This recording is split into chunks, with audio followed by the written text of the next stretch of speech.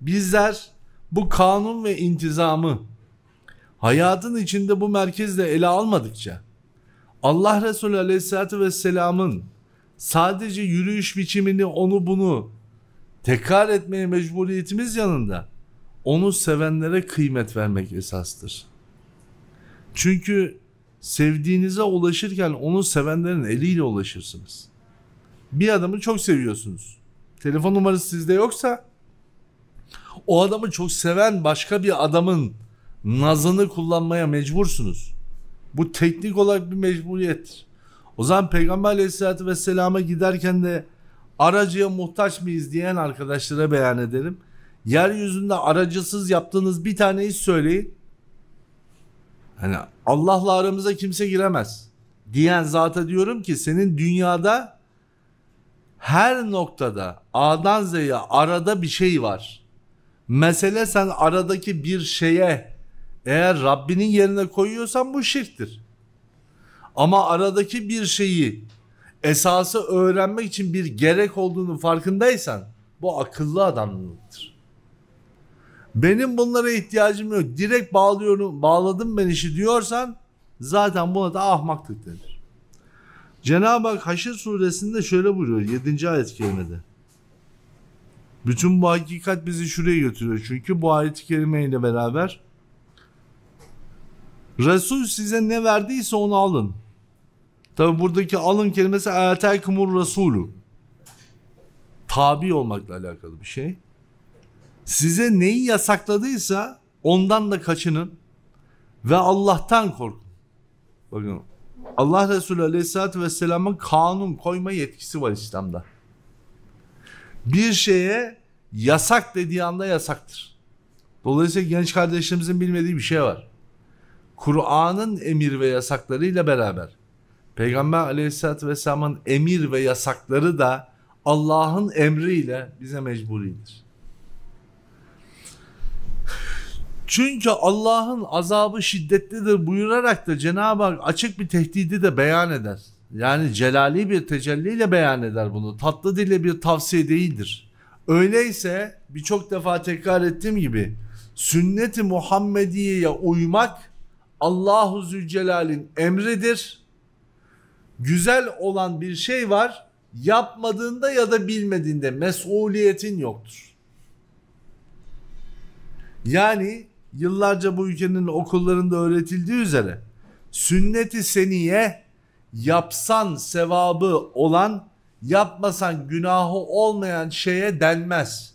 Sünneti seniye yapmaya mecbur olduğun yapamadığın durumlarda Allahu Zülcelal'in sana merhamet ettiği alanlardır. İkisinin arasında dağlar kadar fark vardır. Zaten ilk söylediğim bir nevi nafile oluyor. Evet. Aslına bakarsanız, esasına bakarsanız nafile dediğimiz hususun içine girersek bambaşka hikmetler çıkacak. Çünkü Allah Resulü Aleyhisselatü Vesselam örneğin misrakı kullanmayı o kadar çok tekraren beyan etmiştir ve göstermiştir ki önemli bir sünnet seniyesidir. Misvak kullanmıyorsanız günahı yoktur ama misvak taşımaya mecbursunuz. Aslında bu bir tavsiye değil. Ve hatta şöyle ifade edeyim ben bunu. Bununla ilgili Yeknesak bir kitabımız da nasip olursa çıkacak. Hikmet Külliyatı'nda anlatmıştık. Allah Resulü Aleyhisselatü Vesselam bir gün kendisine geliyor. iki insan, iki sahabeden iki kişi hurmalarla ilgili bir sual ediyor. Uzun meseledir, özetle anlatıyorum. Allah Resulü onlara şöyle yapın diyor, onlar gidiyorlar. Sonra diyorlar ki ya Resulallah biz senin dediğin gibi yaptık olmadı. O zaman siz bildiğiniz gibi yapın diyor. Birileri de diyorlar ki işte bu şuna delildir. Allah Resulü'nün her şeyi bilemeyeceğine delildir. Hayır bu ona delil değildir. Bu şuna delildir. Giden iki kişi Cebrail aleyhisselam yolda giderken Cebrail aleyhisselam bu iki kişinin konuşmasına şahit oluyor.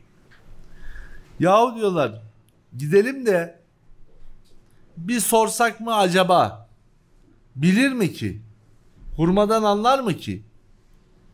Soralım bakalım. Yani yarım ve ikircikli yani ikircikli demeyelim de yarım bir sual o. Tam bir sual değil. Çünkü Allah Azze ve Celle'nin ayet kelimesi var. Bunu anlatan bu ayeti niye söylemiyor? Bilmediklerinizi zikir ehline sorunuz. Ama zikir ehline soru sormaya giderken deneme tahtasına gitme o tahtayı adamın başına geçirirler. Örneğin zikir ehline gittin.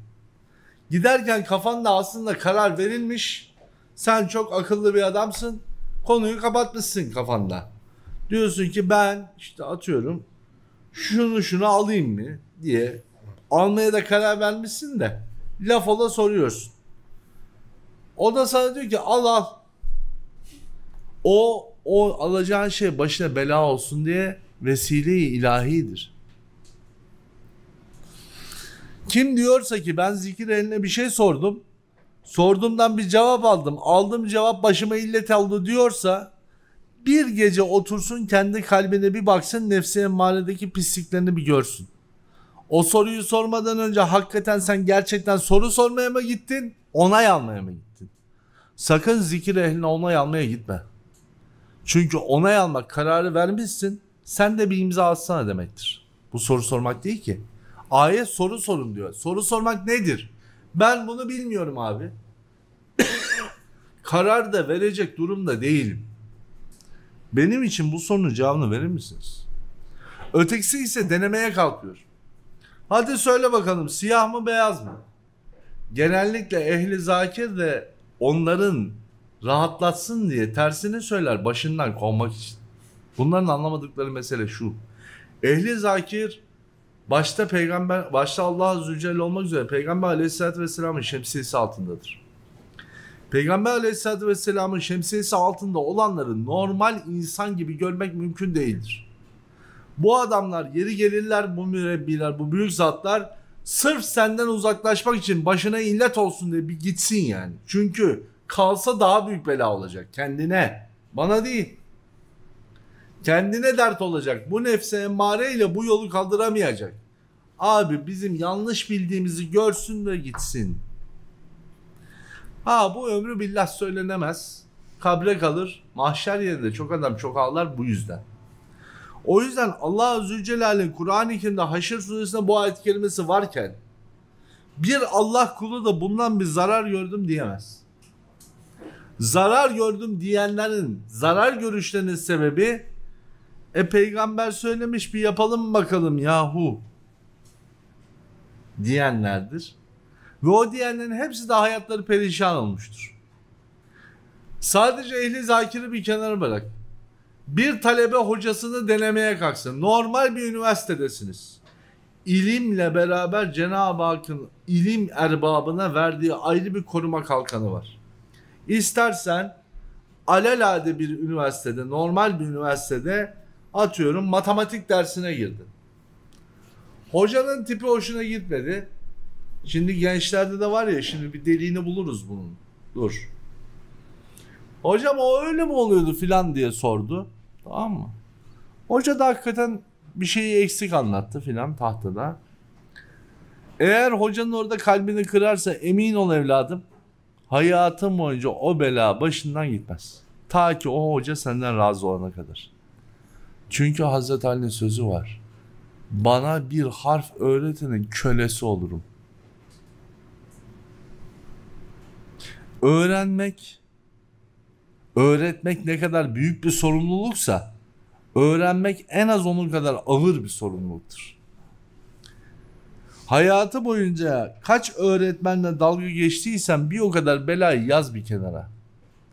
Yani Cenab-ı Allah bana peygamberinize itaat edin derken aynı zamanda şunu söylüyor bir başka veçiyle. Ehli zakire tabi ol. Çünkü o peygamberin şemsiyesi altındadır. Ulemaya tabi ol çünkü o peygamberin şemsiyesi altındadır. Hatta kefaleti altındadır. Çünkü Allah Resulü Aleyhisselatü Vesselam diyor ki ilim talebesinin kefili benim. Hayatınız boyunca istediğiniz adamla şakalaşabilirsiniz. Ama mescitte okuyan en tıfıl talebeyle dalga geçmeye kalkma adamın aklını alırlar. Çünkü kefili Allah Resulü.